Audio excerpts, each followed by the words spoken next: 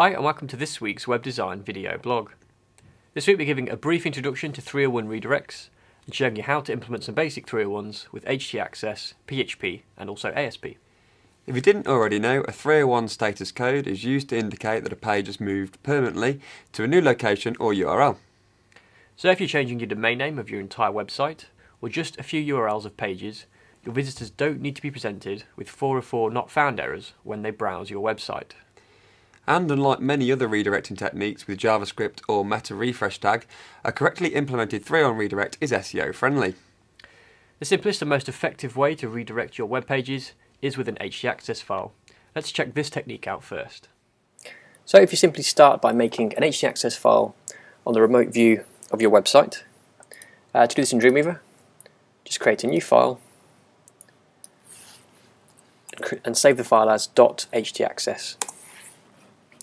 Now because this file extension starts with a dot, it's a system file, you may not automatically be able to see it locally or even on the remote view of your server.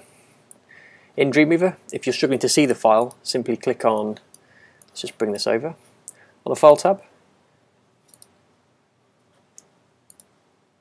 There's a View option, and you want to make sure that Show Hidden Files is selected.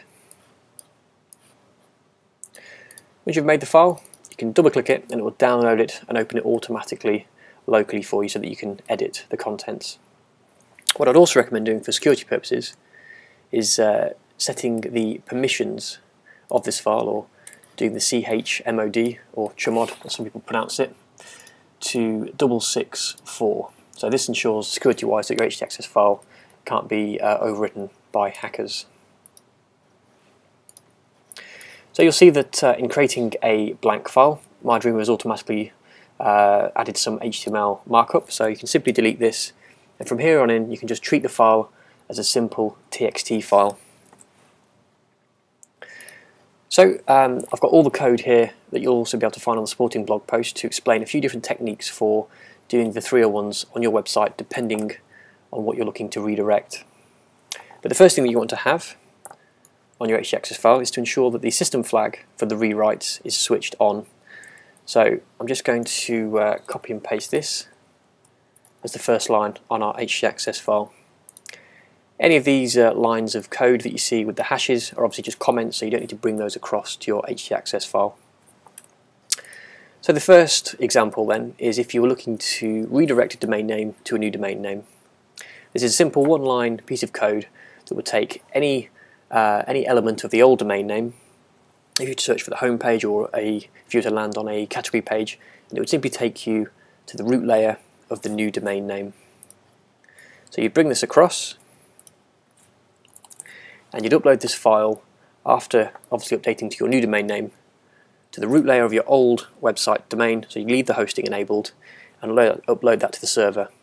Anyone that comes onto the website, even if you've left all the old files alongside the htaccess file, they'll be redirected away to the new domain name. Whenever a server generates a web page, a request, it always checks the htaccess file first, so it would simply redirect anybody looking for anything on that domain name to the new domain name.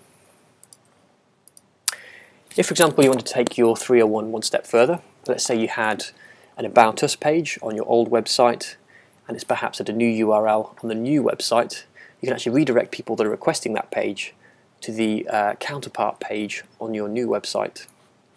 So that's where the second line comes into play.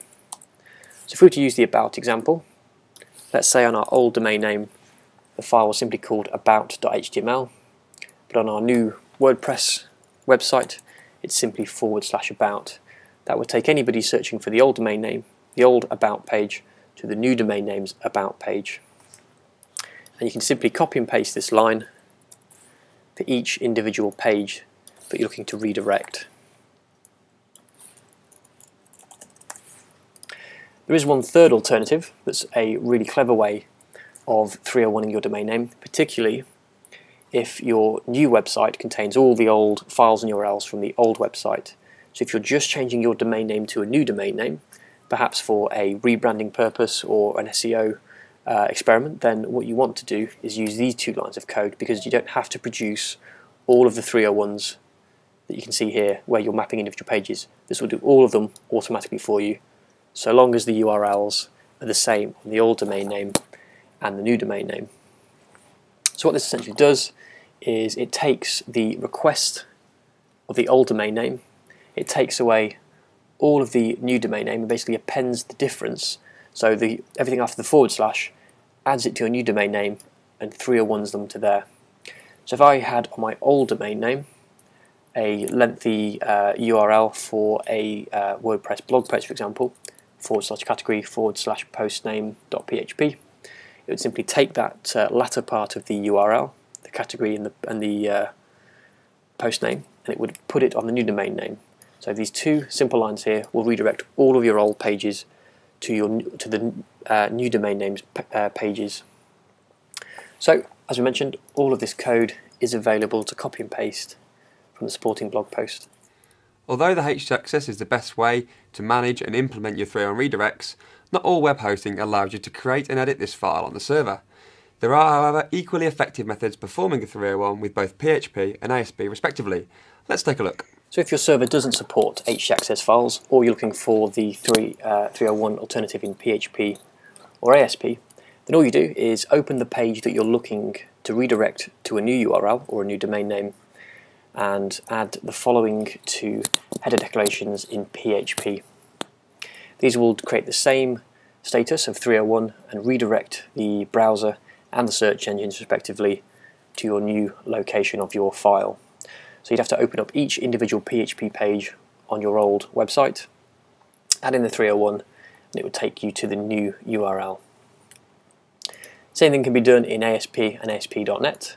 I don't know too much about these two scripts, but if you're creating an ASP website, you can copy and paste these codes accordingly.